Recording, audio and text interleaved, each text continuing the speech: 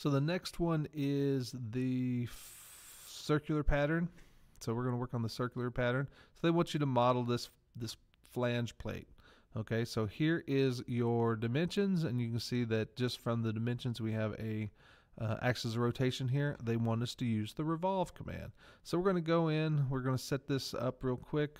Um, so we'll go into our inventor, start 2D sketch, go ahead and pick us a plane. All right, I like to have my axis of rotation be on the origin. So I'm going to go ahead and draw me a line and then click the line and then right click and say construction and then that's going to be my axis of rotation. All right, so then I'm going to come up and then I'm going to draw an L shape. And again, I'm going to attach that to the y axis because it just keeps things simple. And then I'll draw the basic shape of that flange and then I start adding dimensions. So this is half and we are 0.375. Notice that this is not halved. This is saying this is 0.375 from the axis of rotation. So I can go in here and this is 0.5. And that's going to get really, really big because I drew that very small, 0.375, and that's going to get a little bit smaller. And then uh, axis rotation out is 2.5. So from here to here is 2.5. And from axis rotation to the top of the flange is 1, and then the height is also 1. So dimension this from here to here is 1 inch. And from here to here, oops, click the wrong area, try that again. There to there is also 1 inch. And if I look at that, yes. And then again, if I want that to um, be attached to the um, y-axis, all I have to do is say, you know what, I want this to be vertical. I want this point to be vertical with the origin, and then it locks it in place. And I don't need any dimensions except for the one that the axis rotation, uh, the length, and that doesn't really matter. So here we'll go, and we will revolve it. Okay, so it automatically finds because I only have I made this a construction line. It automatically finds my profile, click on my axis, and then I have my flange plate. Notice where we had the axis rotation was lower than the start of the sketch, and that's why we have a hole in the middle. So I'm going to go here. Now we're going to make our holes, okay?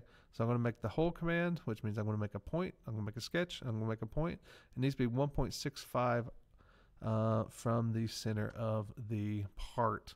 So I'm going to make a sketch. I'm going to draw drop me a point on the y-axis. And then I'm going to say from here to here, 1.65.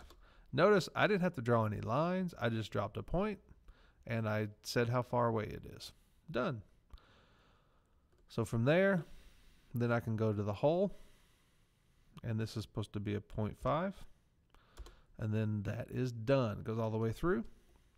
So now we patterned in the sketch before. Now we're going to pattern with a feature. All right, we're going to pattern a feature. So before we were patterning inside a sketch, now we notice that we're not in the sketch. So we're here, here's the pattern. It's grayed out now because I'm not in the sketch. But here's the pattern for a sketch. We also have pattern for 3D models. So I'm going to do a circular pattern here and I'm going to go ahead and, and it's going to say select your features. You can come over here and click. I find it problematic. I don't like it. You can experiment with it. I think it's kind of buggy. All right. I like to go over here and say, you know what? The feature I want is my hole, and I click it in my browser. Then I say the axis of rotation. So I click that. And then this, I can click this side um, because this circle has an axis of rotation. So if you click the circle, it automatically finds the axis of rotation for you. So now I'm putting in six. I think I'm supposed to have, let's see, one, two, three, four, five, six, seven, eight, nine, ten. I'm supposed to have 10. So I'm going to go here and drop 10 in there, hit OK, and then boom, those are done.